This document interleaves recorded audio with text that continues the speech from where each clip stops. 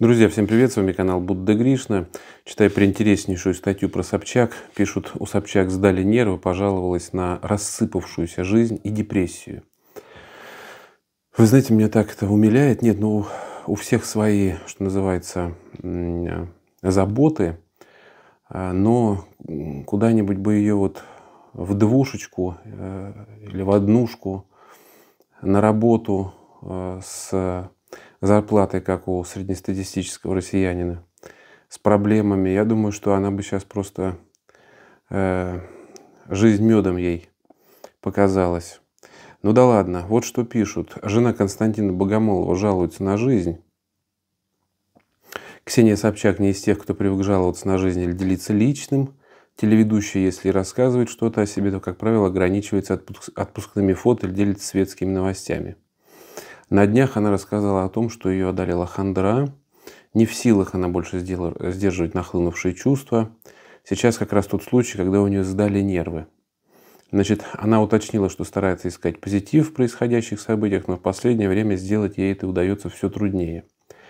Вот что она говорит. Всегда знала про себя, что я оптимист, что надо улыбаться.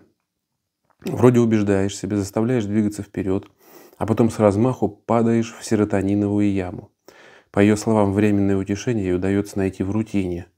Но то и дело накатывает тоска по близким, ведь они давно находятся вдали от дома.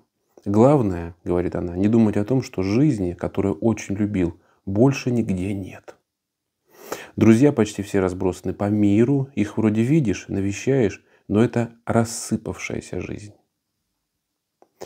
Переживания сильно ударили по здоровью Ксении. У меня дикие проблемы с режимом. Засыпаю в 3-4 ночи, просыпаюсь тоже поздно. Глобальных целей нет. Нет, жить тяжело, заключила Собчак. Друзья, вот это очень хороший пример человека, который, скажем так, с удовольствием вернул бы то, как было. Да? Вот депутат э, генерал Гурулев говорил.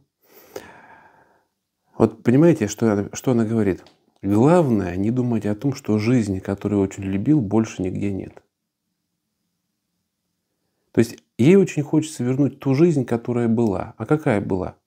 А где можно было выставлять фотографии с моря океанов, где не нужно было думать, что какая-то фотография будет воспринята людьми не так, где можно было ходить на разного рода вечеринки и жировать там по полной программе.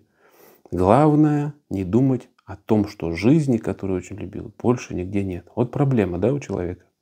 Друзья почти все разбросаны по миру. Их вроде видишь, навещаешь, но это рассыпавшаяся жизнь.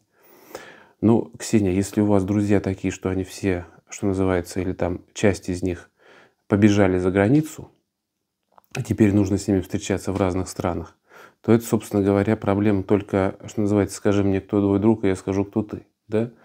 У а, значит, россиян обычных, среднестатистических, э, все на месте, все дома, что называется. И все видятся, встречаются, радуются, плачут, но вместе. А вот еще о том, что вроде убеждаешь себя, заставляешь двигаться вперед, убеждать не надо. Вот поэтому и падаешь в серотониновую яму, потому что убеждаешь себя, убеждаешь себя. Потому что это притворство. Те люди, которые искренны, те люди, которые понимают причины происходящего, и те люди, которые выражают свое мнение просто вот абсолютно честно и искренне, они не падают в серотониновую яму по одной простой причине, потому что они честны, искренны, потому что они так считают. И если человек понимает, что ему приходится говорить так, как надо говорить для того, чтобы зарабатывать здесь деньги, учитывая, что здесь медийные ресурсы, но взгляд на происходящее иной, нужно убеждать себя и падать в серотониновую яму. Это абсолютно понятно почему. Поэтому то, что она не в силах сдерживать свои а, чувства, сдали нервы, а, позитив в происходящих событиях, позитив не всегда виден в происходящих событиях. Но если точно понимать причины происходящего, никогда никакой депрессии не будет. Поэтому в данном случае это, э, с моей точки зрения, избалованный человек, который привык э, к тому, что э, все можно, а тут вдруг э, оказалось нельзя. И нельзя не потому, что ей нельзя, а нельзя потому, что общество изменилось в соответствии с геополитической обстановкой. Трансформационные процессы в обществе идут. Она вроде уехать не может, потому что здесь у нее заработок. И здесь теперь пришпандорили так, что вести себя так, как раньше, не получится. Вот у человека идет внутренняя борьба. Хочется жить, как раньше, показывая всем все, что угодно – а вроде как и нельзя. Вот вся проблема в этом. Что называется, нам бы ваши проблемы. Друзья, что вы думаете на сей счет, пишите в комментариях. С вами был Будда Гришна. Подписывайтесь на канал, кому интересно. Если вам нравится то, что я делаю, друзья, можете поддержать канал Будда Гришна. Ссылочка в закрепленном комментарии в описании к видео. Если вы известный человек или талантливый человек, бизнесмен, предприниматель, хотите, чтобы о вас узнали э, многие люди, или наоборот не хотите, чтобы десятки тысяч ваших потенциальных клиентов проходили мимо вас каждый день, у меня для вас есть интересное предложение на моем, э, на моем сайте buddhagrishna.com. Пожалуйста, можете посмотреть, почитать, послушать, если заинтересуетесь, пишите. Друзья, подписывайтесь на мой телеграм-канал Будда Гришна. Новости, успехов, здоровья. Всем пока, до встречи.